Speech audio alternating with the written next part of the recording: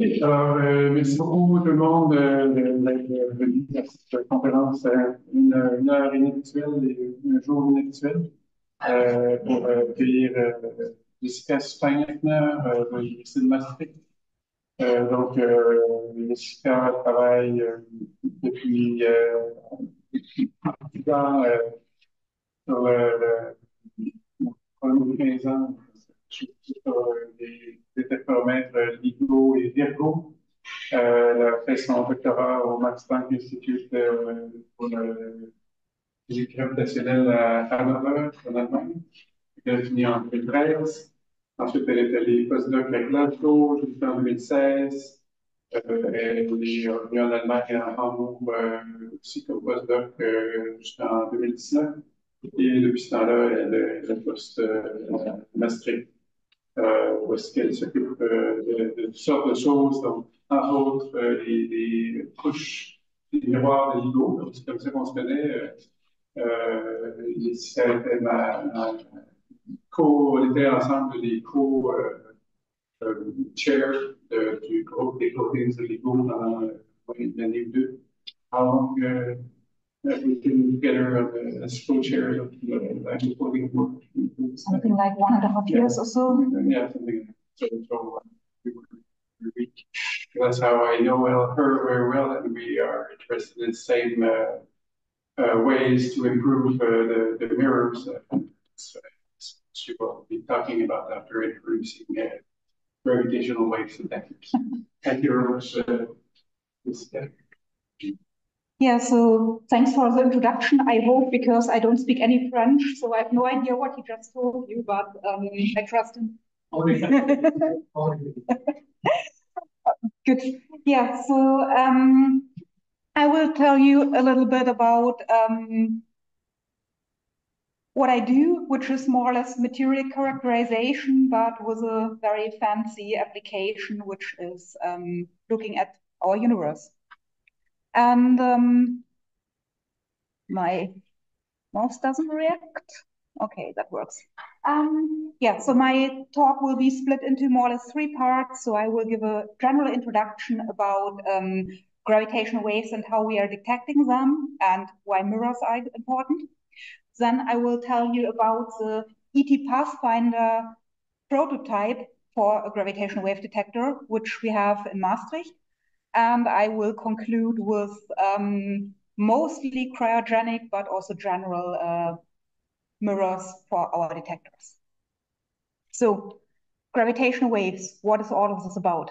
Um, gravitational waves have been um, predicted by Einstein more than 100 years ago, and they are generated by everything in the universe, which kind of makes a loud bang. So if there's a supernova, um, if there are black holes merging, if neutron stars collide, all of that causes um, the release of a lot of energy in the form of gravitational waves, and those then travel through the universe at the speed of light.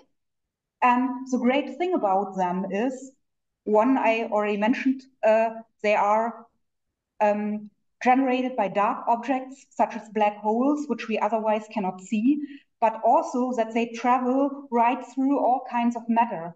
So signals which um, we couldn't see electromagnetically because stars, dust clouds, or anything is in the path between them reaching us, um, we can see with gravitational waves.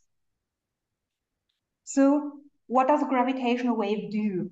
Um, if it arrives here from space, it would increase the distance between me and you by a tiny little amount in that direction and shrink it a little bit in that direction. And this then happens periodically in turns while the gravitational wave travels through Earth. And actually, it's so big that this effect would be visible anywhere on the planet. But the issue is now it comes from very, very far away, so that when these waves arrive here, they are really very, very tiny.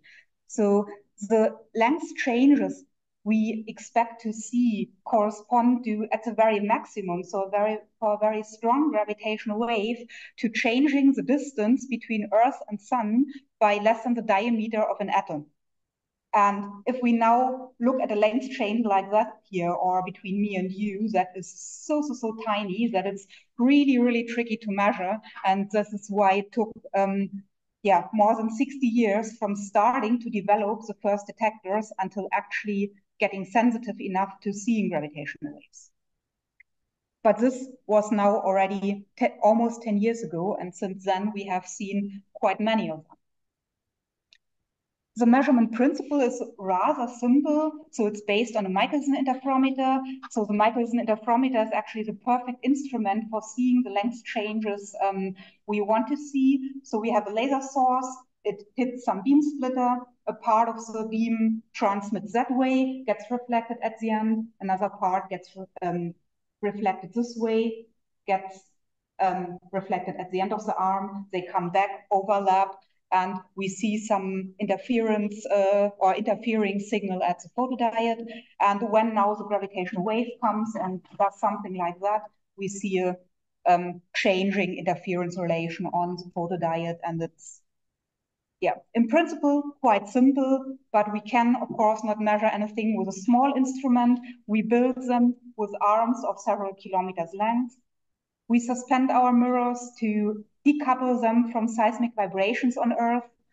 We use fancy things like squeezed light, which is more or less altering the quantum nature of light. And um, we use additional mirrors in our detector arms. So here that's the so-called end test masses, ETM. So that is the mirror at the end of each arm. And here the additional um, ITM, the input test mass, is an additional mirror which forms a cavity with the end mirror so that the beam bounces back and forth a few hundred times, which effectively makes our detector arms a few hundred times longer. And with this, we actually can see gravitational waves. We have currently five active detectors in the world. There are the two LIGO detectors, which are in the US. There's a Virgo detector in Italy. Then GEO is not quite sensitive enough to see gravitational waves. It also will never be because the name here, GEO 600, says it has 600 meter long arms, which is just too small to, to measure anything, but it serves as a test bed for new technologies. And then there's KAGRA in Japan, which is built underground in a mine to um, decouple it more from seismic vibrations. And KAGRA is not yet as, as its design uh, sensitivity, so it will be able to see gravitational waves. It's just not, yeah, completely finished yet. So with these, we um, see gravitational waves.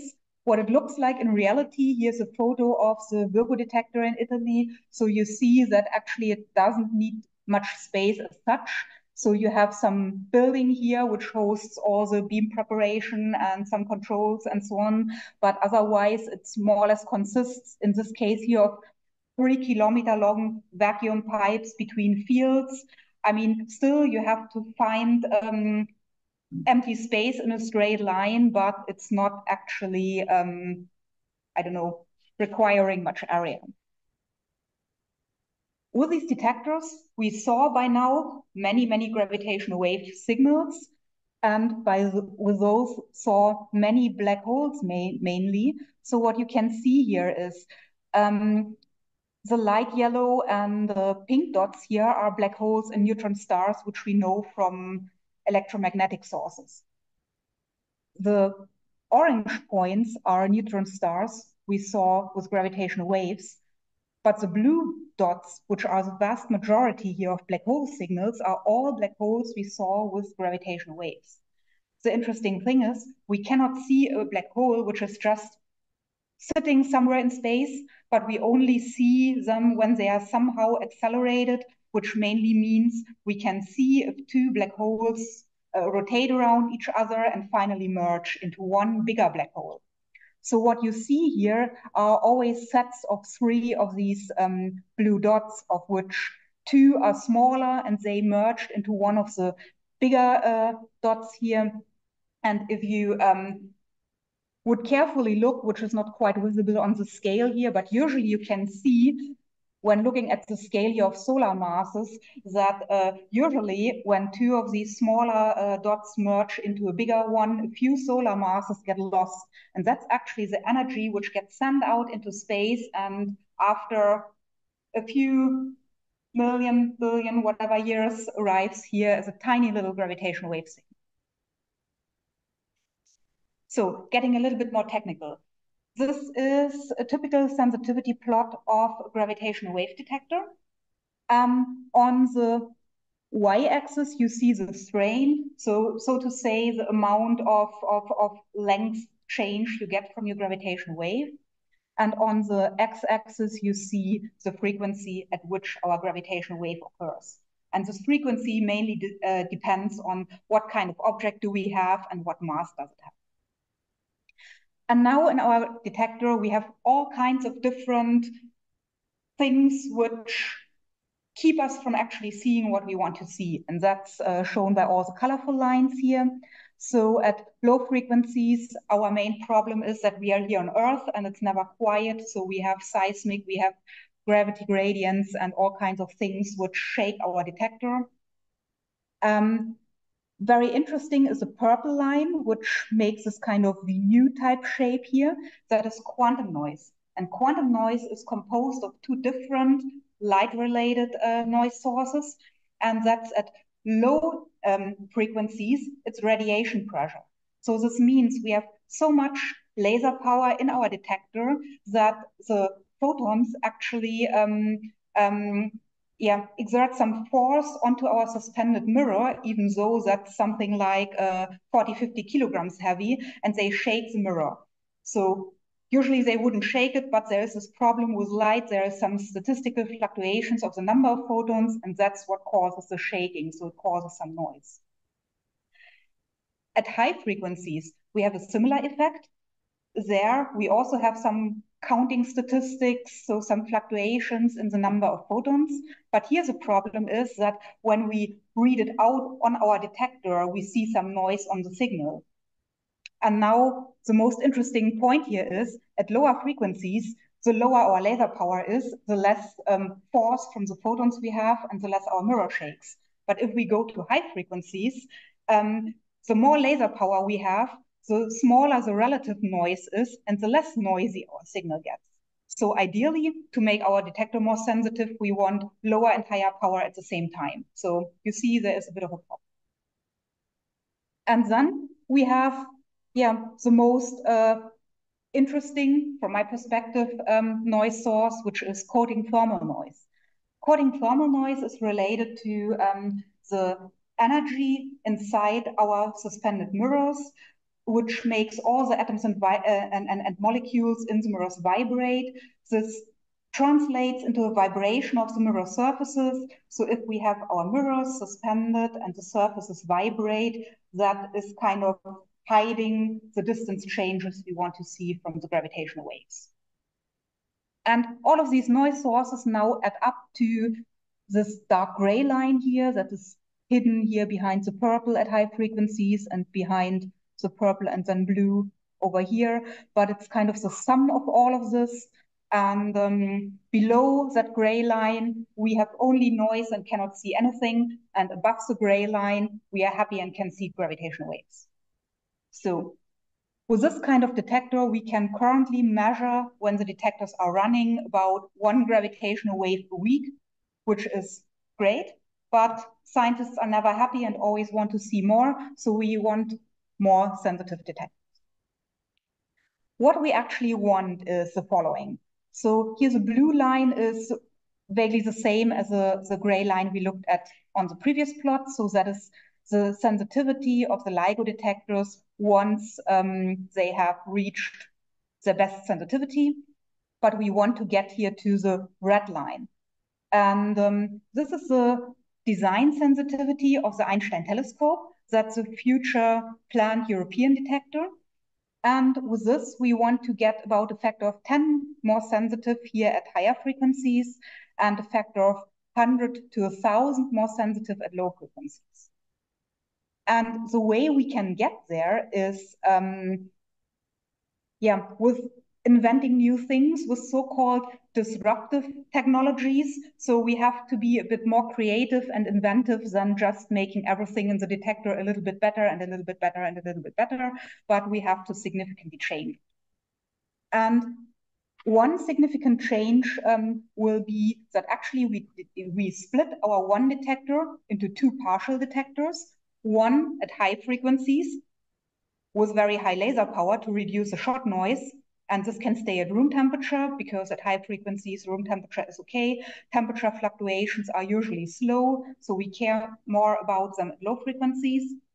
And at low frequencies, so this is where you see this dip here. So actually the high frequency detector would go up in sensitivity here. And the low frequency detector starts kind of there. And this area here is um, where they meet. And here at the low frequencies, we make our detector cryogenic to reduce coating thermal noise. We um, build it underground to reduce um, seismic and gravity related uh, noise sources.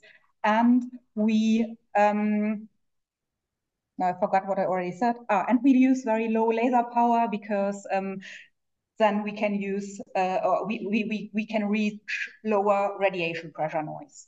So this is the kind of plan. And with this, we can get from the one signal we currently see per week in, on average to seeing much larger signals, so from weaker and further away sources um, all the time. So actually, we will move from not seeing signals often enough to the problem, um, a quite nice, a quite nice problem to have, but to the problem of seeing um, overlapping signals constantly and not thinking, oh, there's a nice signal. What could it be? Let's fit a few models of merging black holes to it to see what we actually saw. But we see some entangled, weird mass of signals, which we somehow have to, um, um, yeah, disentangle into separate signals. But as I say, a nice problem to have. So still something we want to reach. And um, so the plan to get there for the Einstein telescope is making it 10 kilometers long, um, actually having three detectors in a kind of triangular configuration. So basically having, when thinking back to that Michelson interferometer, one beam splitter sitting at every corner of a triangle.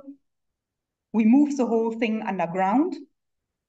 We make actually two detectors at every corner, of which one is room temperature, high power, and so on, and the other is cryogenic low power. And um, that then solves, hopefully, most of our problems. There are currently two candidate uh, locations for this detector. One is a nice Italian island, Sardinia.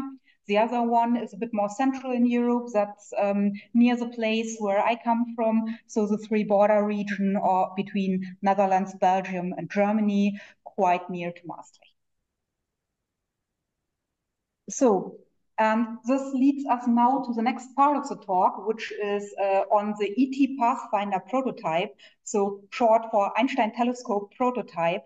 And um, this is a um, yeah kind of downscaled model of the Einstein telescope we are currently um, building up in Maastricht to test these uh, so-called disruptive technologies. Um, ET Pathfinder will have rather large uh, vacuum tanks. So they are in size actually very close to what we will have in the end in ET. So what we see here in this model is here's one vacuum tank which can host the uh, laser and beam preparation and so on. This is the beam splitter tower. And then here's one arm, there's the other arm, and each with one tower for the input mirror and one for the end mirror of the arm cavities. And what is basically missing compared to the real ET is that we shrink our 10 kilometer long arms to 10 meters of arms. So basically, instead of 10 kilometer vacuum, so 10 kilometer nothing, we have 10 meter nothing, so not much difference only that with the shorter arms, we won't be able to see gravitational waves, but we will be able to test everything else we need to actually, hopefully, in the end, build the final ET. Um, now I would like to show you um, a small video. So I got a lot of lab tours here yesterday and today. So you get um, a tiny little snippet of a lab tour um, of our ET Pathfinder lab. So let's quickly share this here instead. And I can tell you a bit about the way how we got there. So this is starting to run, yes. So um, we are a very new physics department. So the whole physics at Maastricht University only started existing in 2019, so a little bit less than five years ago. And when we moved into our building, um, what now is the ET Pathfinder lab was actually a storage room for um, furniture. So there were abandoned desks and cupboards and that kind of stuff in there.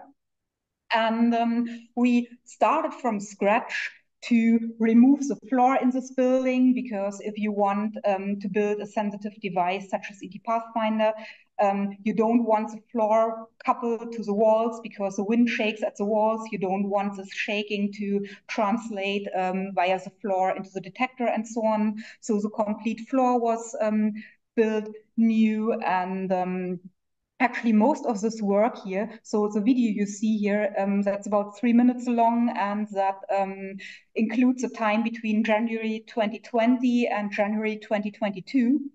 Um, so actually, um, if lockdown had to happen at some point, for us, it was the best possible point in time because um, we didn't have labs at all and the companies just went ahead building our clean room while we were sitting at home writing emails and having Zoom meetings.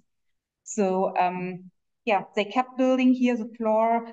Um, now the walls are uh, arriving. Um, in a little moment, you see that some kind of triangular part of the uh, room will will kind of be built, and this is clean room preparation area. So if we have to bring large things into this uh, clean room, like vacuum tanks, they have to be cleaned before coming in.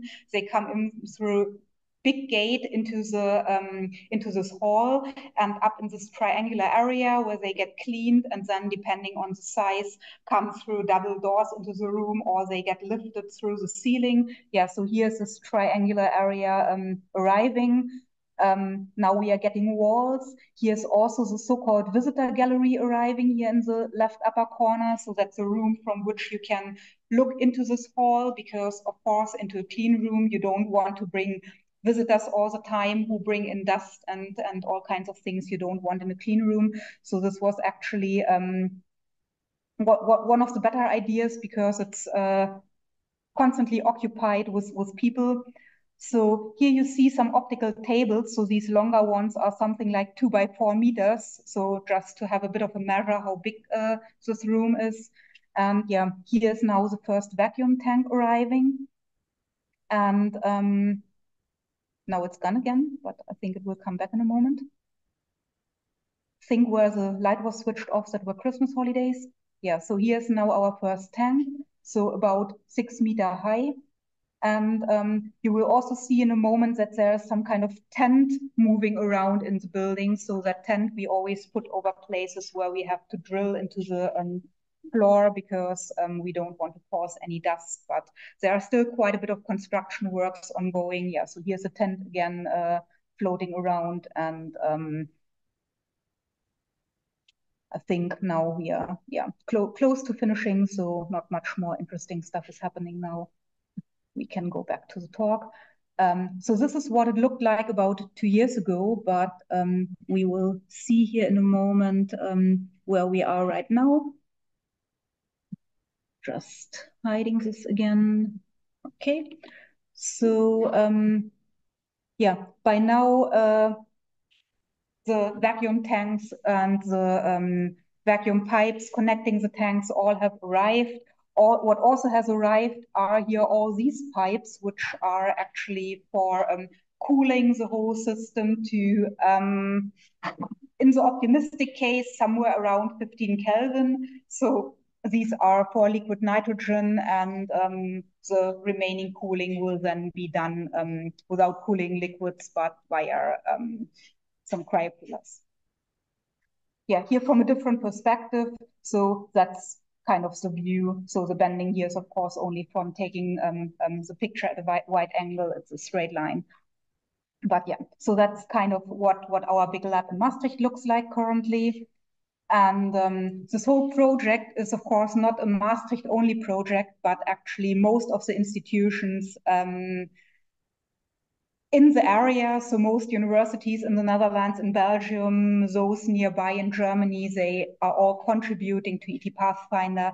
They provide person power to help building it up and running it, and they um, also want to test one or the other technologies. Some are building our lasers, others are um, helping um, with the mirrors. Um, in Amsterdam, they are building the suspension system, so it's really a big team effort. Good. And this as the background. So in this system, we want to test technologies such as cryogenic detector operation, cryogenic mirrors and coatings and so on, which we um, need for the Einstein telescope. But um, I also have to admit the mirrors and the coatings we want to test in there don't exist yet. So there's still a little bit of work um, ahead.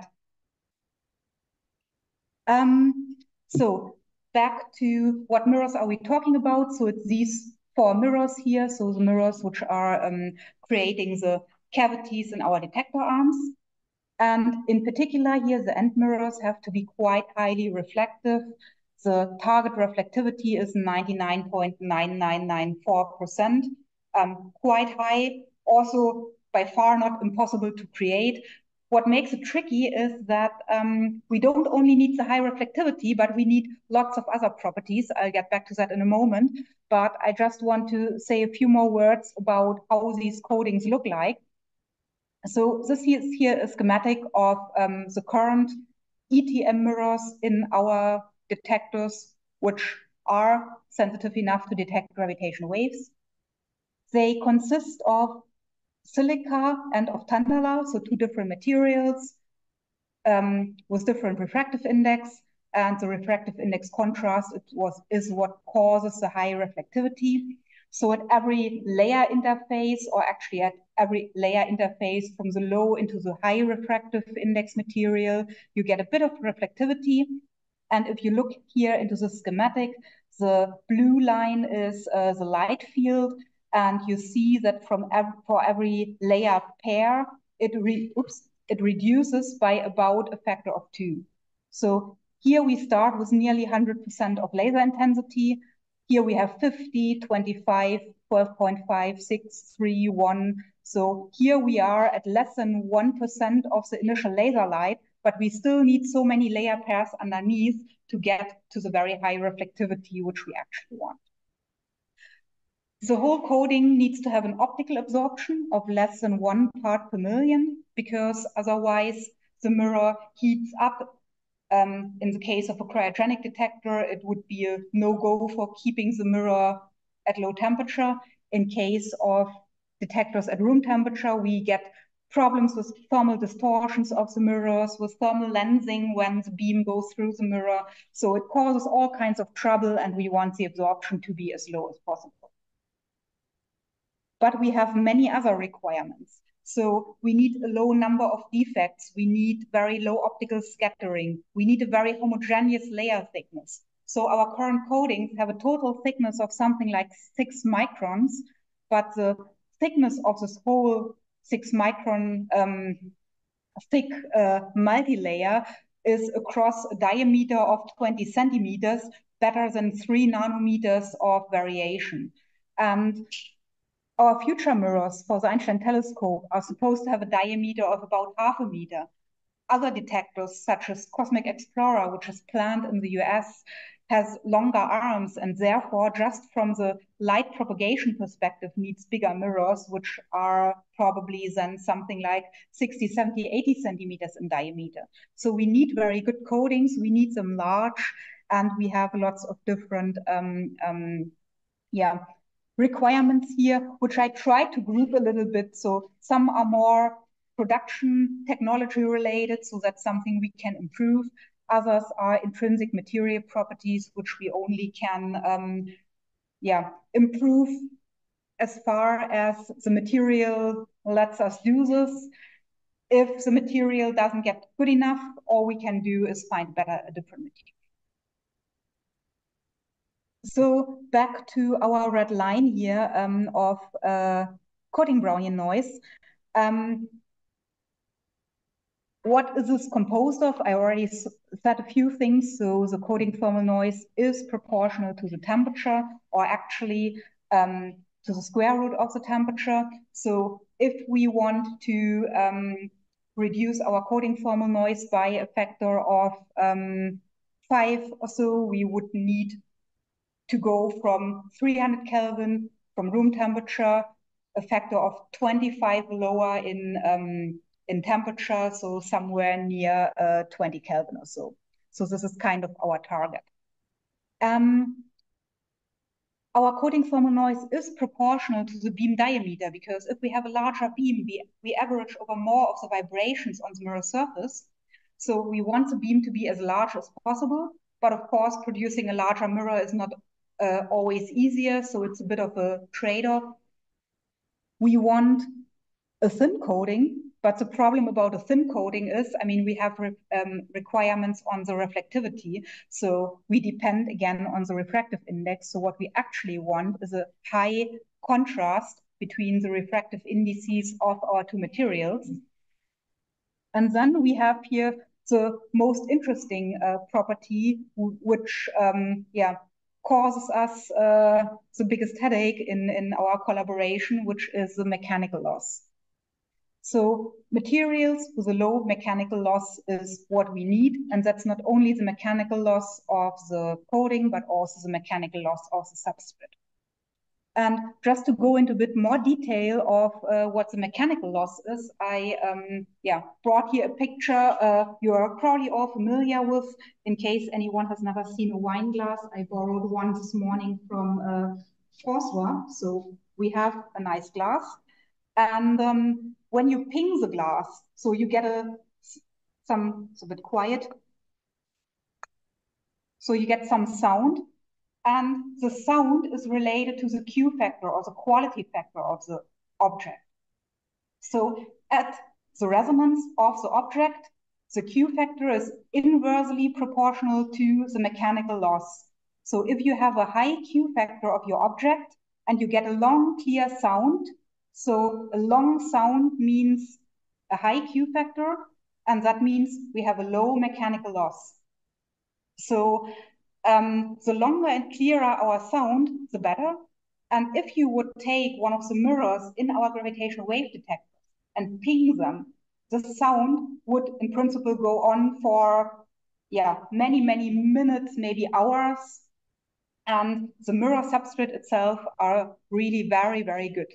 The problem are the coatings. So um, let me show you what happens if we coat this. So we give the, um, the glass some, some sugar coating, a little bit uh, like cocktail style here. So I make it um, a bit, uh, let's see if I can manage here, um, a little bit wet around the edge. So just put that into the, or maybe just before I do that, again, a reminder what it sounds now. So quite nice. And now we put the coating onto our mirror here, actually very close to an amorphous coating, having here a little bit of sugar. And what happens is that so the sound becomes much less clear, much shorter. So it means that the mechanical loss um, of the whole system decreased um, the material property, of course, stays the same, but it's a whole package. So we add something with a high mechanical loss to something with a low mechanical loss. And what you see is some kind of average of the properties of both. So what does it look like in our detector? Um, so before we have only looked here at the straight red line, which is just the coating on its own. But what we see in the detector is a thermal noise, um, which is a sum of here this suspension thermal noise uh, peak, then here the coating itself. So here basically uh, on, on, on this side actually, and then at low frequencies, you have another resonance peak. And this resonance peak here comes from the pendulum mode of the mirror suspension, while this resonance peak here comes from the internal, the drum mode of our mirror substrate. And what is now related or what happens with our mechanical loss changing is that if we have a high mechanical loss, so that's here the, the black line, we um, get less high. So you see here maybe, hopefully a little bit, that the black peaks are a little bit less high than the red peaks. So our peaks are a bit broader.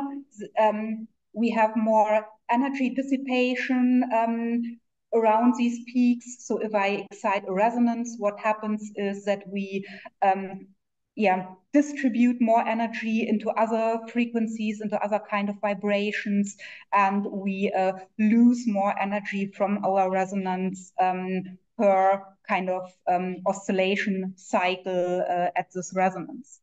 While if we go lower in loss, what happens is, sorry, what happens is that um, our energy stays longer at this resonance. Our peak becomes higher, it becomes more narrow, and simply due to energy conservation, um, the vibrations have to be lower at all the other frequencies.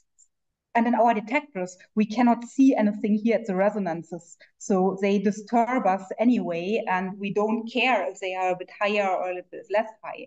But what we do by selecting the ideal material for our mirrors is basically um, redistributing the noise from here in the in the center where we don't want it, where we want to see our gravitational waves, into the peaks where we don't care about it, and um, kind of we shovel our noise away to where we yeah are fine with it.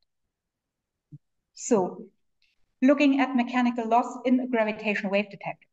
Um, here you see mechanical loss of the silica and the tantalum coating um, in our um, current multi-layer coatings. Um, quickly, before I get back to this, to the measurement. So how do we measure mechanical loss? We actually do what I've just done here with this glass. So we take a sample, we physically ping it I mean, not as physical as it's shown here in the picture with a hammer, but um, we actually use an electrostatic pulse, but we ping it, we excite a resonance, and we measure the time, how long it takes for the um, resonance to decay. And we do this with a sample before it gets coated, and then we coat it and do the same again. And then we can do some finite element modeling to see how the energy is distributed between the substrate and the coating, get some kind of factor and can afterwards um, disentangle how much uh, mechanical loss we had in our coating. Um, works quite well, looks in practice like this here. So here you see a thin glass disc here on top, you see the electrostatic drive.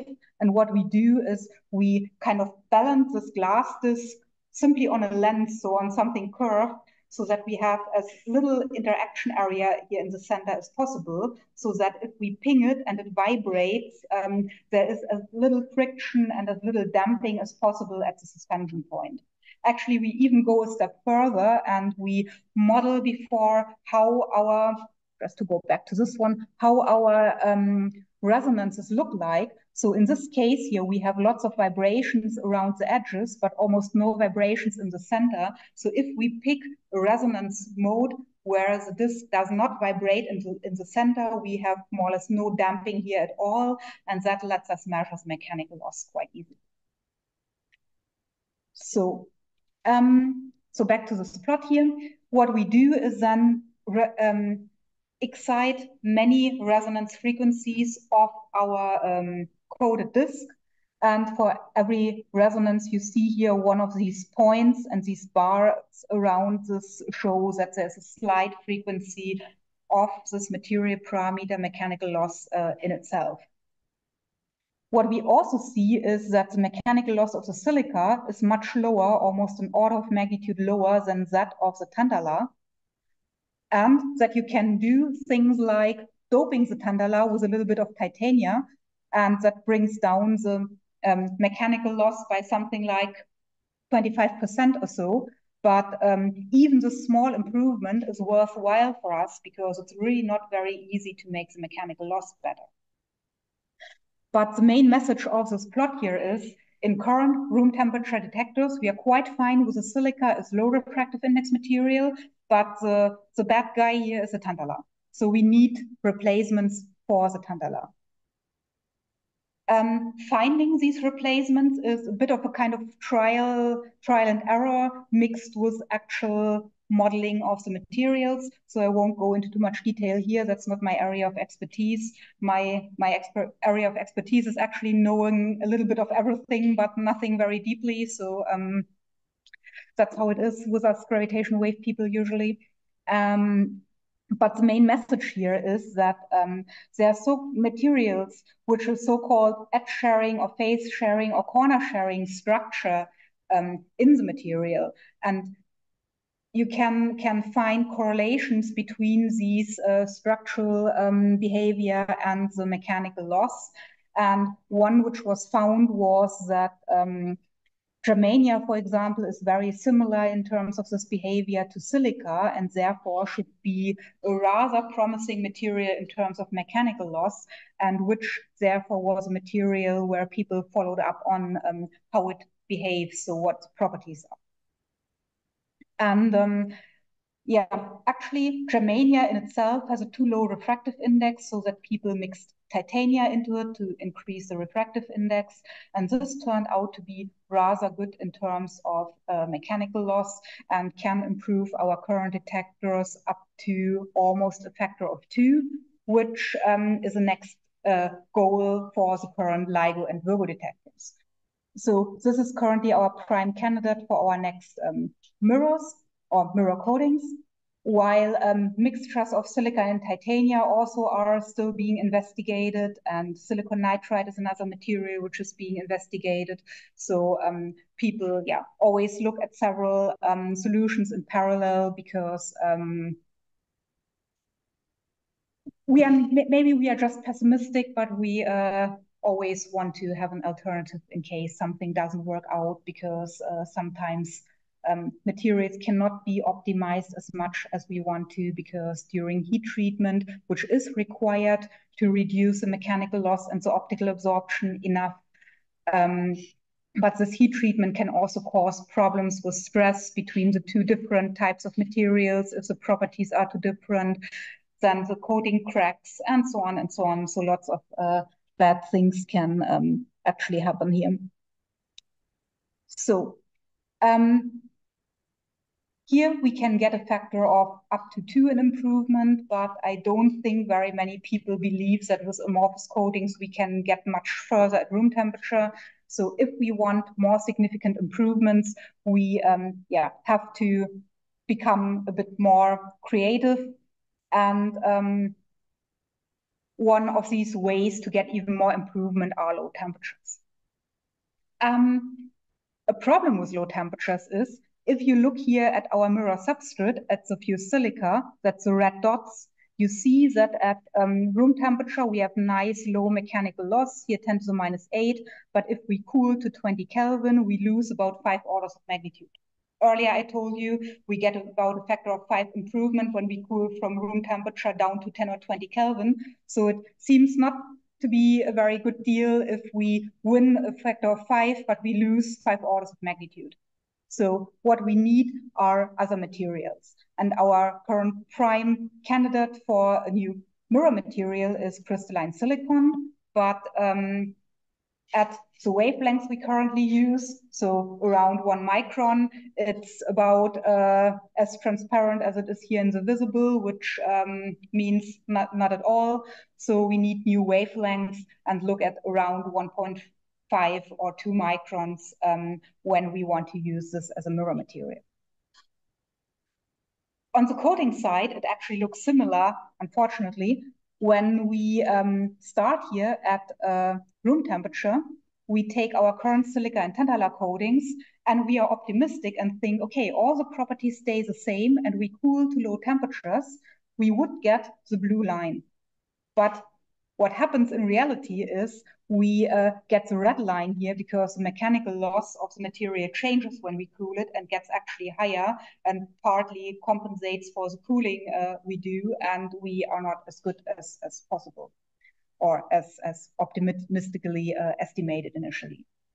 And um, this means we still need, even at low temperature, new and better coating materials. Um, okay, just said that. Um, but yeah, the new coating material or the, the, the, the low temperatures and the new wavelengths open up also uh, new interesting ideas for coating materials. And again, for example, silicon nitride is an interesting candidate. Amorphous silicon is a very interesting candidate.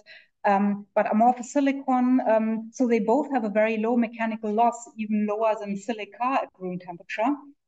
Um, a high refractive index helps us to make the coating thinner, but in this case, we have an absorption problem. The interesting thing about silicon is you produce the same material five times and five times you get a totally different behavior. So we are fighting a very big parameter space with lots of unknowns in it. And um, we actually managed to improve from um, having absorptions, so extinction coefficients, so the complex refractive index, in the 10 to the minus 3 uh, range. And we got from there into the low 10 to the minus 5 range. But that's still about two orders of magnitude higher than what our current coatings have, which are in the 10 to the minus 7s. So there's still a little bit of work to do. But um, we are trying to optimize the material, but we are also trying um, other ways uh, um, to improve our coatings. This here is a, what we call multi-materials. There are, of course, uh, many other names for this. So that's a picture I showed you earlier. And we said that about here we are at 1% um, of the laser power. So why not take the coating up to here, where we are at 1% of the laser power, so two orders of magnitude lower in what can be absorbed, and put that on top of our 10 to the minus 5 um, silicon absorption and suddenly we are at the 10 to minus 7 and comparable to our current coatings.